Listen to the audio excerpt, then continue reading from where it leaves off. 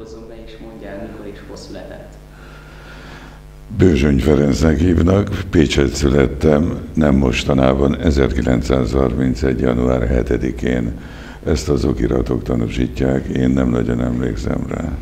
Milyen családban nőtt? Vendéglős volt édesapám, Korcsváros, így volt kiírva a cégtáblán, ami mindmáig megvan családi erekeként hajdani házunkról, amit hát sajnálatomra már lebontottak pár évvel ezelőtt itt a Ifjúság útja és a Pacsirta utca sarkán. Az egyetemnek van ott valami műves állomása, vagy micsoda.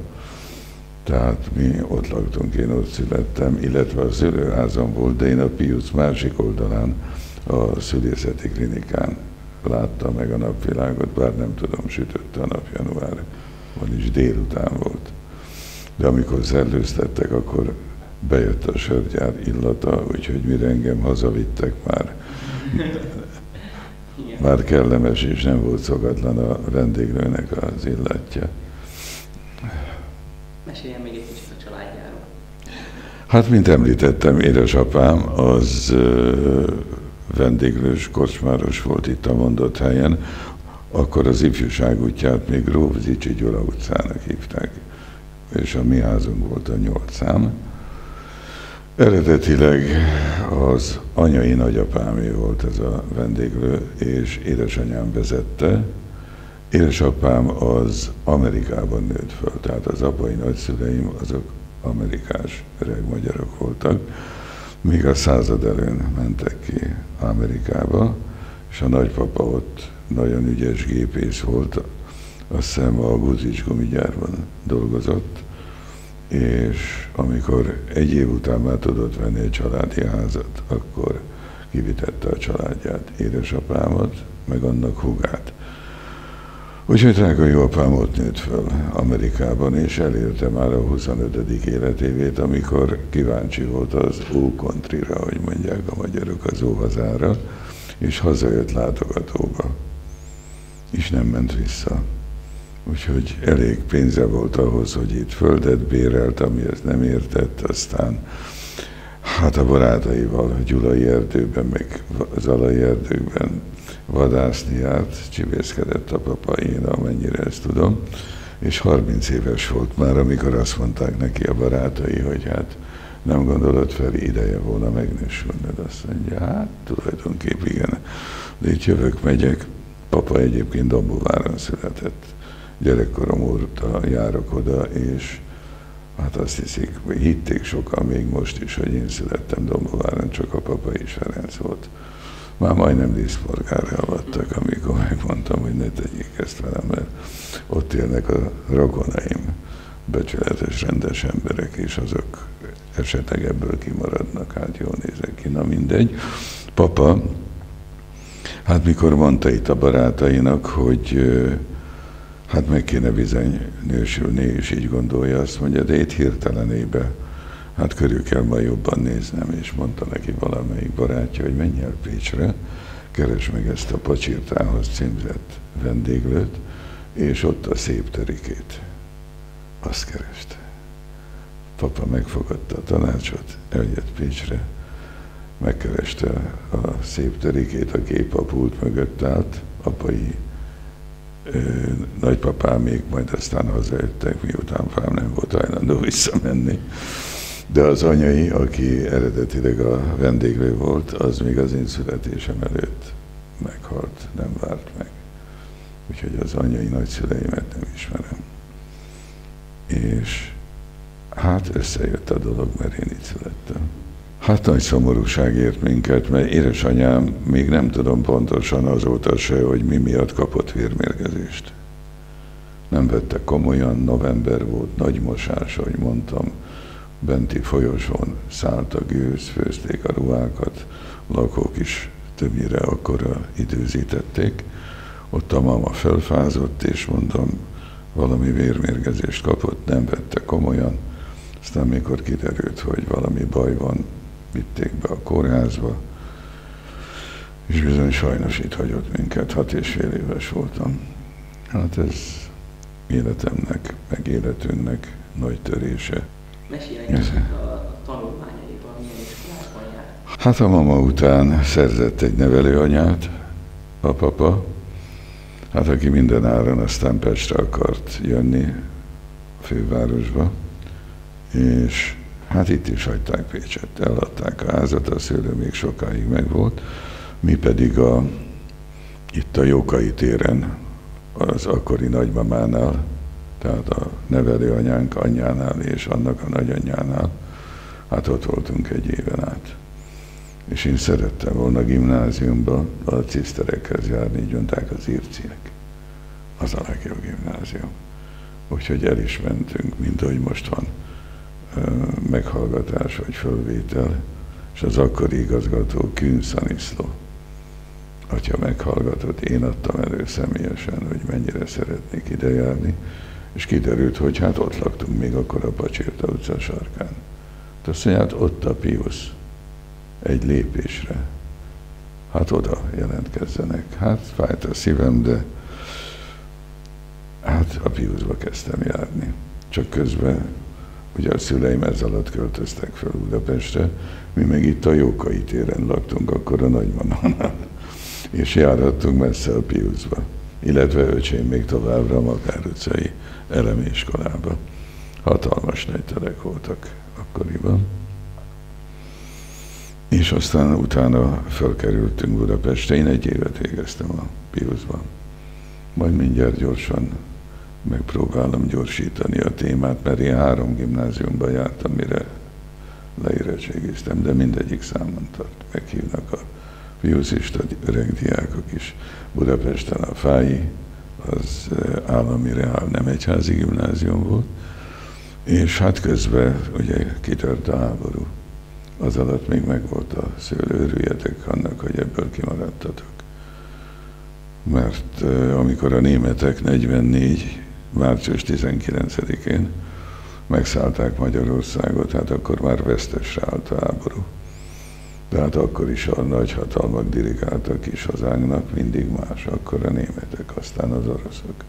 Akkor a legnagyobb ellenségeink voltak az amerikaiak. Azok is bombáztak minket egész nyáron. Az első bombatámadásra, sőt a másodikra is jól emlékszem. Budapesten laktunk akkor, és hát rögtön az iskoláknak, az iskolévnek vége volt, és jöttünk le Pécsre, nagymamához, meg ide a Makárhegyre, és hát néztük a Budapest felé tartó, már Olaszországban ugye partra szállt angol-amerikai csapatoknak a hatalmas liberátorgépeit, és többnyire hát Budapestet mentek bombázni később Győr, Szolnokot. Pécs nagyon megúszta, itt úgy 44. augusztusában. Azt hiszem a terheitől akart szabadulni az a néhány gép, amely ledobott vagy 40-50 bombát. De hát azt hiszem, a Jóisten megvédte a várost, mert mint a kiszámították volna, kezdődött a, az állomásnál, és kertekbe, üres telkekbe esett zsidó temető kerítését rombolta le, és az utolsó, legközelebb a Makár egy Fogaras utcában, ott is egy családi háznak az udvarába. Úgyhogy azt hiszem, talán egy vagy két áldozata volt. Pécs aztán megúszta a frontot is viszonylag könnyen, akkor is itt voltunk. 44, azt hiszem november 29-én itt voltak már az oroszok és itt a Jókai utcai házak, meg azok környéke, hát mind mélypincével van alápincézve. Ezeket a háború alatt mind összekötötték. Később elfalaszták, el is felejtették, azért szakadt be, hol itt halott.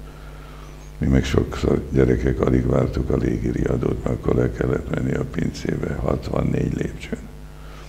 És ott abszolút biztonságban voltunk, 18 méter föld volt fölötte, hogy azt telibe találja a bomba, akkor se szakad be. Úgyhogy kószáltunk itt a fél belváros alatt, hol vagyunk most, Munkácsi Mihály utca alatt, másik pincében. Ez most már az Irgalmasok utcája, aztán Széchenyi tér, Percel utca, mondom, egy egész pince volt. Ott láttam először aztán a Jókai téren reggel az első orosz katonát. jött a házmesterünk, a Pál bácsi, hogy hát itt vannak az oroszok, nem bántanak senkit, fel lehet menni, senki nem mert felmenni. Úgyhogy lejött az egyik orosz tiszt. És én pedig öcsémmel egy ilyen ö, visztá, üres víztároló kádba volt nekünk megágyazva, még ott lapítottunk, és a ruszki katona mindegyikünknek egy szem kockacukrot adott. De úgy, hogy a szánkba nyomta, hogy hát mindenki jön föl nyugodtan. Hát az első eresztéssel nem is volt baj, hanem a későbbiek, akik jöttek, amihez hozzáfértek, ugye szőlő, gyümölcs termővidék, Pécs, hát az akkoriak tudnak erről mesélni, hogy a ruszkik, akit ott elkaptak, főleg nőket, meg hát ahol bor volt, hát Isten irgalmazzon, berúgtak, hogy elfolyatták. Nem jöttek rá, hogy egy nagy hordót csapra is lehet ütni. A képisztoly az kéznél volt, és hát beleeresztettek sorozatot, aztán csajkába, rohamsisakba vették a bort, aztán a többit meg ott hagyták.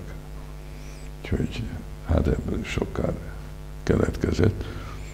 Utolsó előtti nap még jártak a villamosok Pécset.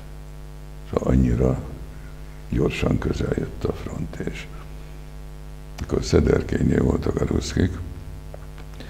A németek itt lent, ahol most szabadságtér van, már akkor még nem volt beépítve, ott állítottak fel vagy 8-10 ágyút, és onnan lőtték az oroszokat. És öcsémmel ellogtunk, már csámborogtunk a városba. Édesapám meg közben lejött Budapestről, és hát nagymama kétségbe volt esve, hogy hát a gyerekek hol vannak, nem tudja. Úgyhogy a papa körbe szaladt a városba. Mindig ott járt, ahol mi éppen nem voltunk, és de végül össze találkoztunk, és egy-két aknát úgy belőttek Pécsre. Tudom, az első, a Jókai utca, a Tihi ház, így hívták. Annak a külső falába csapódott. Annyira újdonságot, hogy a pécsiek összeszaladtak, hogy mi volt ez. És hát ahogy aztán jöttünk hazafelé, mondtam a csémnek, te nekem gyanús a dolog, hogy mikor az ágyuk lőnek, az dörren, aztán süvít, ugye, hogy távolodik a gránát. De van, hogy süvít, és aztán dörren, hogy akkor estek le ezek az aknák. A Macsasovszki sarkát akkor találták el, meg a Rákóczi úton, még a sörös kocsis, a sörházi kocsis hordta ki a szódát az utolsó délután is. Ismertem is azt a bácsit, a járdára csapódott az akna, nem csak a ló, ott ő is meghalt. Hát azt látva aztán iszkoltunk haza. Hát Budapestre kerültünk, Fáji gimnázium. Hát elég keserves évek voltak az ostom utáni. Budapest, főleg Buda, hogy nézett ki, hát azt ne tudjátok meg, mikor először fölmentem a budai várba, és így lenéztem, mondom, Uram Isten, én húsz évig föl nem jövök ide, hogy ez kinéz. Míg a lovak nem voltak eltemetve. Ott a halászbás alatt a gödrökbe bele voltak dobálva, le voltak ugyan szórva mészsel, de hát nem részletezem, ha hidak felrobbantva, szüleim félre ismerve, egyébként sokrétű tehetségemet, meg szerénységemet nem véve figyelembe, hát mérnöknek szántak. És igazán nincsen mechanikai érzékem, meg matematika ellen oltottak be engem, azt hiszem nem Imlő ellen gyerekkoromban. A humántárgyakat nagyon szerettem, de ezt nem. Úgyhogy beadtak üzemi gyakorlatra a fogoskerékgyárba, de hát aztán nem vettek fel oda, nem is csoda, mert nem értettem hozzá, meg nem is akartam. És hát akkoriban ezek az úgynevezett koalíciós idők kezdődtek, és hát Szenti Erceg primás volt a fő célpont. Annyira, hogy úgy kíváncsi voltam, hogy miért támadják ezt ilyen nagyon, hogy nézhet ki egyáltalán egy bíboros hercegprimás. Én még az elődjét láttam egyszer egy cserkész ünnepségen, Serédi Justiniát, és pontosan megjegyeztem a dátumot, 946. február 10-én az Ülőjúti Örökimádás templomban. Ott mondott beszédet. Nem szentmise volt, hanem ilyen liturgia, és hát oda elmentem, közel is volt hozzánk, és hát ott láttam, hallottam őt először. Volt valami félelmetes kisugárzása. Már idézőjelbe értem a félelmetes, de tény az, hogy mikor áldást osztva jött, egy kicsit olyan szigorú tekintete volt, mint egy kicsit fenyegette volna az embereket. Még a papok is féltek tőle, némelyik okkal. És hát ahol hallottam, hogy megjelenik Bazilikánál, Domonkosoknál, erre-arra Budapesten, és beszédet mond, én elmentem. És meghallgattam, és részben az ő hatására határoztam el, hogy én bizony egyházi pályára lépek, és ez a kibontakozó, hát úgynevezett szocializmus, ami hát főleg a kommunisták rákosék vették át a hatalmat, hát ez ellen küzdeni kell. Édesapám képtelen volt ebbe beilleszkedni. Akkori lakásunkat bombatalálat érte. Apám már akkor nem vendéglős volt, hanem egy tiszta üzemben társtulajdonos Csengeri utcában működött. Voltam ott néhányszor. Éjjel-nappal gyártották a tésztát, háború volt, a hadsereg minden mennyiséget átvett. Azokat a gépeket meg elvitték az oroszok, úgyhogy a papa a metropol szállóban volt ruhatáros. Úgyhogy a papa aztán nem tudva, nem is akarva ebbe a kialakuló rendszerbe beilleszkedni, azon spekulált, hogy Amerikában nőtt föl. Állandóan Amerikáról hallottam a meséket otthon tőle és meg nagyszüleimtől, akik időközben Dombovára költöztek apám mugájhoz, mugáékhoz, hogy hát kimegyünk Amerikába, papa visszamegy, és kivitett utána minket, hogy a nagyapa annak idején. Hát a papa pedig, ugye a nagypapa annó útlevéllel ment ki. Édesapám meg disszidált. Valahogy az első próbálkozása nem sikerült. Soha nem mondta meg, hogy az Andrási úton a kihallgatása milyen körülmények között zajlott, de teljesen utána bevadult, hogy ne kérdezzetek, de nem mesélt el végtére aztán ez soha. Tény az, hogy valahogy nem tudom a részleteket, diszidált, és kint volt, hiszem két évig Ausztriában, Innsbruck mellett, és mivel neki ilyen rokonok, meg keresztanyja, keresztapja, régi barátai éltek, Ohio Ekronban. Oda ment ki a papa, közben leengedték a vasfüggönyt. A mama, nevelőanyánk, meg öcsém, mi itt maradtunk. Aztán jártuk az oskolákat. Én mikor elhatároztam, hogy pap leszek a végső lökést, azt hiszem az adta meg, hogy 47 júniusában a budapesti Szent István Bazilikában mind Szent Jerzek Primás úr bérvált meg. Úgyhogy éppen itt lent voltam Pécsett azon a nyáron, és épp a szőlünkből hazafelé jövett a Makár utca, most ifjúság útja. Ott dőlt el bennem, hogy akkor én pap leszek, megírtam édesapámnak, és le is jött értem, de már október volt. Hát gyorsan szereztem az akkori tanáramtól, ipari tanuló voltam, de akkor még volt hittan is.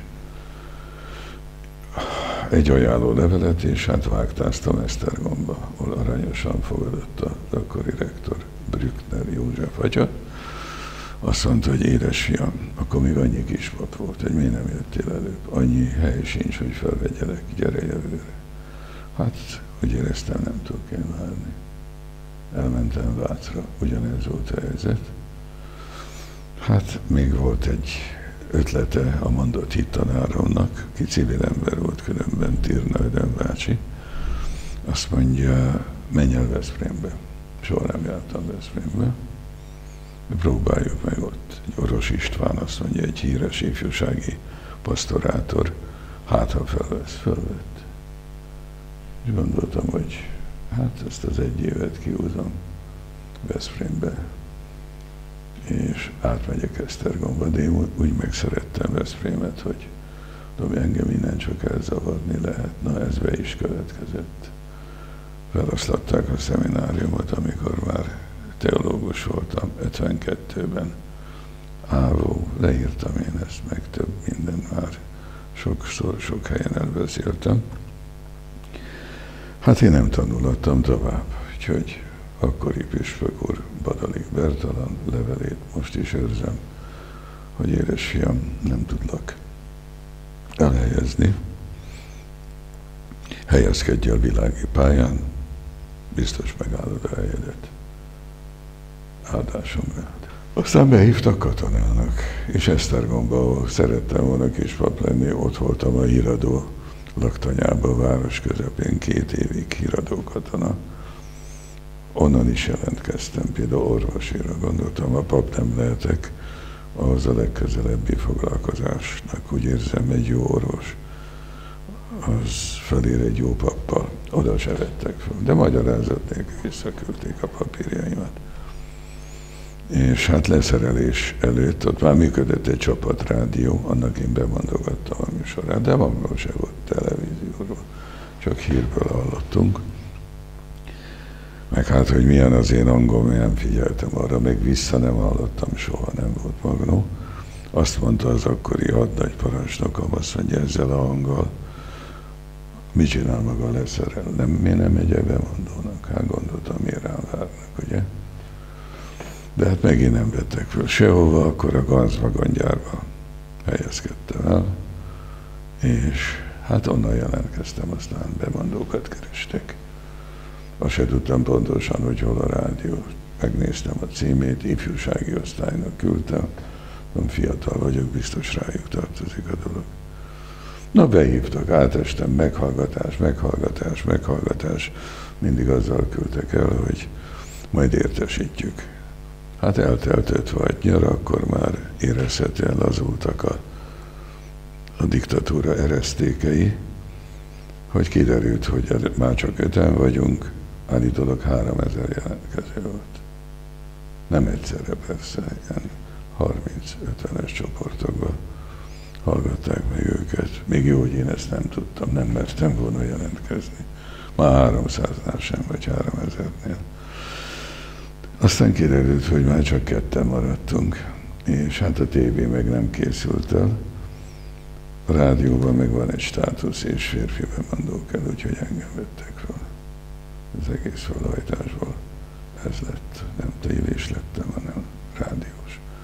56. augusztusában, 24-én délután 16 óra 30 perckor szólaltam meg először.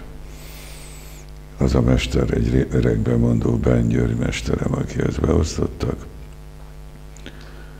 azzal, hogy egy hónapig csak fölvételre dolgoztasson, és majd utána megbeszélve az osztályvezetővel megszólalhatok a második nap.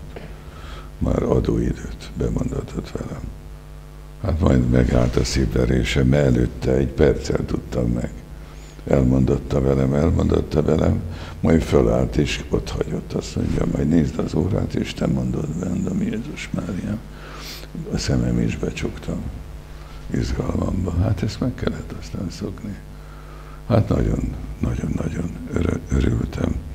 Nem kérdeztek tőlem semmit. Ja, az életrajzomat mikor kérték, hát ezzel gondba voltam. Ha megint leírok mindent, ahogy eddig, hát akkor sarkon fordulhatok. Hát nagyon rövidre vettem, érettségiztem, aztán szakmunkás tanulóként, átképzősként, két vasas szakmában, két év katonai szolgálat után megint gyárban dolgoztam, hol lakom, öcsém, stb. ennyi. Na hát a papával most mit írjuk? Ugye vendéglős, disszidát, ez a rohadt imperialistákhoz ment ki, legnagyobb ellenségünkhöz, az Egyesült Államokban. Hát, ha ezt megint beírom, tűnődtem egy napig, addig nem kértek önéletrajzot. Mama azt mondta, tudod, mit írt be, hogy meghalt, és akkor nem keresik. Hát mondom, ez nem lehet, ez hazugság, úgyis megtudják, páros lábbal fognak kirúgni. hát idézte azt a népi bölcsességet, hogy fiam, aki időt nyer, az életet nyer. És amikor négy szemközti beszélgetésre az akkori főnök, közvetlen főnök a bemondóknak behívott magához, leültetett, hogy akkor beszélgessünk. Én láttam, már nem ültem messze az asztalától, hogy hát az életrajzon fekszik előtte. No, hát beszélgessünk, de miről? Hát azt mondja, erről, az életrajzodról. De mi a baj vele? Ja, nagyon rövid. Mondom, nagyon fiatal vagyok még. És mit írjak? Nekem tudnom kell mindent, nekem felelősséget kell érted vállalnom. Hát akkor sejtettem, hogy jól áll a szénám, de hát meglepetés nem érhet. Úgyhogy mondd el azt, ami ebben nincs benne. Hát megfordult velem a világ, egy életem, egy halálom, elmondom aztán annyi, annyi helyre nem vettek már föl, mindent elmondtam. Tudomásul vette, felvettek. Kollégák nagy szeretettel fogadtak. Én egy hónap múlva már híreket olvastam. Mondták, hogy egy év után engedik csak oda az ifjakat. Nem bocsánat, két hónap után, na de ez az élet is hozzájárult. Hát két hónap múlva október 23-a volt, és én a rádiós romát ott éltem át falakon belül. Hát én ezt leírtam, nem mesélem el. Kijöttem. Mesélj egy kicsit mégis. Hát ez nehéz volt. Ez. Hát nehéz volt ott. Nem gondoltam volna én sem, meg senki, hogy ilyen békésnek induló tüntetés, hogy hát hogy fog végződni. Ott benni a rádióban csak hallgattuk a kintről jövő híreket. Kádár is ott járt. Láttam az ablakból, mikor elment. Állítólag azt mondta, akkor jöttek meg Jugoszláviából párt és kormányküldöttség. Fogalmuk se volt, hogy mi zajlik az országban. Hogy állítólag a rádió vezetői, akkori vezetői könyörögtek neki, hogy hát csináljanak valamit, mert itt Poznan lesz, ugye Lengyelországban, júniusban volt a poznani lázadás. Állítólag bölcsen azt mondta, hogy javtársak, az a sajátos lengyel körülmények közt előfordulhatott. Itt ilyentől tartani nem kell. Hát este, amikor már dörögtek a fegyverek, ez úgy többször eszembe jutott. Meg még hallottuk, hogy ledöntötték a Stalin szobrot. Na, ebből nagy baj lesz. Hát lett is. Hát, hogy ott kilőtt először. Én ott voltam benne. Valaki visszalőtt. Ezt tudom mondani. És úgy fokról fokra gorombult el a helyzet. Egyszer ha, ö, lőtték a rádiót, aztán voltak szünetek, és hát hajnalban még mindig nem hittem, nem hittük, hogy a rádiót el tudják foglalni amikor az őrség egy részét ott feküdtek a mostani múzeumkert felé eső részén, akkor kert volt, most már beépült egy ilyen alacsony támfal védelmében, és közben a Széchenyi könyvtár épülete, ami oda belógott, és egy ablakból ezeket látták. Hát én kimentem ott a műszaki öltözőbe, zsúfolódtunk össze, az volt a legvédettebb hely, nincs ablaka sem erre csak belső folyosóra két ajtaja. Oda jött aztán le az elnökség is, hogy hajnal felé kimentem, és ott azt mondta a rádió alelnöke, sürgettem, ugye tejfelosztályú rádiós, hogy miért nem csinálnak ők valamit. Azt mondja, nem kell itt forró fejüsködni, mire világos lesz, nem mer lőni senki. Úgyhogy én első emeleti ablakból láttam, amikor ezeket a katonákat ott végig sorozták és agyonlőtték. Úgyhogy mentem vissza, és hát látták rajtam, hogy valami nem jót láttam, hogy mi történt kint, mondtam, lőnek. Világos van, és lőnek. Hát aztán hallottuk, hogy a rádiót foglalják el, bejöttek lövedékek, egyik ablakon, a másik ablakon torkol lőttek ott egy katonát a folyosón, ami rémületes hörgéssel halt meg, többen ennek a hangjától elájultak benne ebbe a zsúfolt öltözőbe. Képzeljétek el, olyan zsúfoltan álltunk ott, hogy úgy elzsibbadt már a lábam, és az egyiket felhúztam, nem bírtam visszatenni. Olyan szorosan álltunk, úgyhogy hát amíg a rádiót el nem foglalták ezt a részt is, hallottuk, hogy már fölöttünk dobognak. Néha kézigránátot dobtak be egyik másik szobába. Zárt helyen ez akkor átdörren, mint a bomba találat érte volna, és ez az adóstúdió, annak a folyosója a lépcsőház felől egy vasajtóval volt akkor bezárva, és annak a kulcsa a műszaki ö, csoportvezetőné volt. Aki ott volt benne, de be a fejetlenségbe már nem emlékezett rá, hogy hol tette. És kint aztán döngették az ajtót, hogy nyissátok ki, nyissátok ki, hát jönnek a fölkelők. Aztán megsorozták, szétlőtték az árát. Hát ez olyan mennydörgésszerű hangot adott, hogy attól is ott rémületükbe elájultak többen. Ez kinyílt az ajtó, bejöttek. Hát elkezdtük ilyetünkbe énekelni a himnuszt. A himnusz hangjai mellett hát csak nem lőnek agyon minket. Hát a kívül jövők azt hitték, hogy itt mindenki kommunista, vagy nem tudom én mi a fene. És hát adjátok meg magatokat, hallatszott kintről, hát két relatíve fehér törő között egy söprő nyílen, meg egy vonalzón, az egyik ajtón, meg a másikon kidugtak a folyosóra. Közben a katonák egy része oda bejött. Ezek kis katonák voltak, áviások ugyan, de hát oda vonultatták be őket. Úgyhogy nem kérdezték tőlük, hogy akarnak-e, vagy nem. Na ezeket ott mi átöltöztettük. Én is a felöltőmet, sapkám, sálamat ráadtam az egyikre. Aztán kifelé jövet, hogy az ávósok jöjjenek elő.